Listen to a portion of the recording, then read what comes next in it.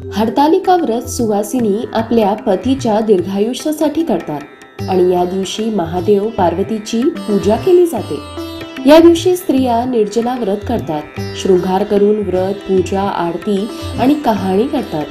अनेक स्त्रिया रात्री चंद्राला अर्ध देखील देतात. या दिवशी वाळूनी महादेवाची पिंडी पार्वती आणि सखीची प्रतिमा तयार केली जाते.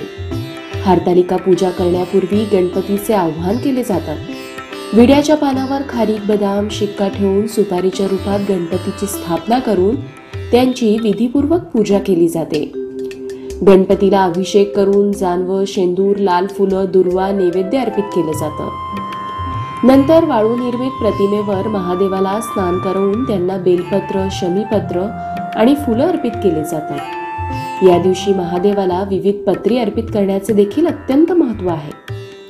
महादेवांची विधीपूर्वक पूजन झाल्यानंतर देवी पार्वती आणि सखीची पूजा केली जाते. त्यांना शृंगाराच्या वस्तू अर्पित केल्या जातात. नंतर नैवेद्य दाखवून आरती व कहाणी केली जाते. या दिवशी रात्री देखील आरती करून जागरण करतात. दुसऱ्या दिवशी दही कान्हावलेचं नैवेद्य दाखवून व्रताचे समापन केलं जातं. आता जाणून घेऊ की यामागील कथा काय आहे. एके दिवशी शंकर पार्वती कैलास पर्वतावर बसली होती. पार्वतीने शंकराला विचारलं महाराज सर्व व्रतात चांगलं असं व्रत कोणते? श्रम थोडे आणि फळ पुष्कळ असं एखादं व्रत असेल तर मला सांगा. मी कोणत्या पुण्याईने आपल्या पदरी पडले हेही मला सांगा. तेव्हा शंकर म्हणाले जसा नक्षत्रात चंद्र श्रेष्ठ ग्रहात सूर्य श्रेष्ठ चार वर्णात ब्राह्मण श्रेष्ठ देवात विष्णू श्रेष्ठ नद्यात गंगा श्रेष्ठ त्याचप्रमाणे हरतालिका हे व्रत सर्वात श्रेष्ठ आहे. ते मी तुला सांगतो. तेच तू पूर्वजन्मी हिमालय पर्वतावर केलंस आणि त्याच पुण्यानं तू मला प्राप्त झालीस. ते व्रत ऐक. हे व्रत भाद्रपद महिन्यातील पहिल्या तृतीयेला करावं. ते पूर्वी तू केलंस आणि ते मी तुला आता सांगतो. तू लहानपणी मी तुला प्राप्त व्हावं म्हणून मोठं तप केलंस. चौसष्ट वर्ष झाडाची पिकली पानं खाऊन होतीस. थंडी पाऊस ऊन हे तिन्ही दुःख सहन केलीस.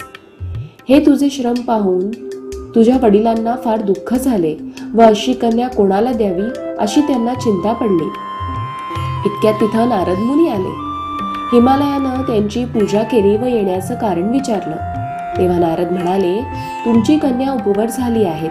ती विष्णूंना द्यावी. ते योग्य व नवरा आहे. त्यांनीच मला तुमच्याकडे मागणी करण्यास पाठविलं आहे. म्हणून मी इथे आलो आहो. हिमालयाला मोठा आनंद झाला. त्यांनी ही गोष्ट कबूल केली. नंतर नारद तिथून विष्णूंकडे गेले. नारद गेल्यावर तुझ्या वडिलांनी ही गोष्ट तुला सांगितली. ही गोष्ट तुला रुचली नाही. तू रागवलीस.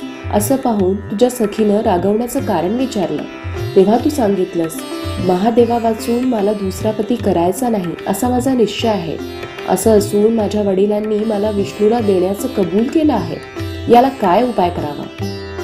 मग तुला तुझ्या सखीने एक घोर अरण्यात नेलं. तिथे गेल्यावर एक नदी दृष्टीस पडली. जवळच एक गुहा आढळली. त्या गुहेत जाऊन तू उपास केलास. तिथे माझं लिंग पार्वतीसह स्थापिलस. त्याची पूजा केलीस. तो दिवस भाद्रपद शुद्ध तृतीयेचा होता. रात्री जागरण केलंस. त्या पुण्यानं इथलं माझं आसन हल्लं नंतर मी तिथे आलो तुला दर्शन दिलं आणि वर मागण्यास सांगितलं. तर तू म्हणाली तुम्ही माझे पती व्हावं याशिवाय दुसरी इच्छा नाही. नंतर ती गोष्ट मी मान्य केली. मी गुप्त झालो. पुढे दुसऱ्या दिवशी ती व्रतपूजा विसर्जन केलीस. मैत्रिणीसह त्याचं पारणं केलंस. इतक्यात तुझे वडील तिथे आले. त्यानं तुला इकडे पळून येण्याचं कारण विचारलं. मग तू सर्व हकीकत सांगितलीस. पुढं त्यांनी तुला मालाच देण्याचं वचन दिलं. तुला घेऊन घरी गेले. मग काही दिवसांनी चांगला मुहूर्त पाहून मला अर्पण केली. अशी या व्रतानं तुझी इच्छा पूर्ण झाली. या हरतालिका व्रत असं म्हणतात. याचा विधी असा आहे. ज्या ठिकाणी हे व्रत करवायचं असेल त्या ठिकाणी तोरण बांधावं. केळीचे खांब लावून ते स्थळ सुशोभित करावं. पुढं रांगोळी घालून पार्वतीसह महादेवाचं लिंग स्थापन करावं. विधीपूर्वक पूजा करावी. मनोभावे प्रार्थना करावी. नंतर ही कहाणी करावी व रात्री जागरण करावं. या व्रतानं प्राणी पापापासून मुक्त होतो. सात जन्माचं पातक नाहीसं होतं. राज्य मिळतं. स्त्रियांचं सौभाग्य वाढतं. कहाणी ऐकल्यावर सुवासिनींना यथाशक्ती वाण द्यावं. दुसऱ्या दिवशी उत्तर पूजा करावी आणि व्रताचं विसर्जन करावं. ही साठा उत्तराची कहाणी पाचा उत्तरी देवा ब्राह्मणांच्या द्वारी गायीचे गोठी पिंपळाची पारी सुफळ संपूर्ण.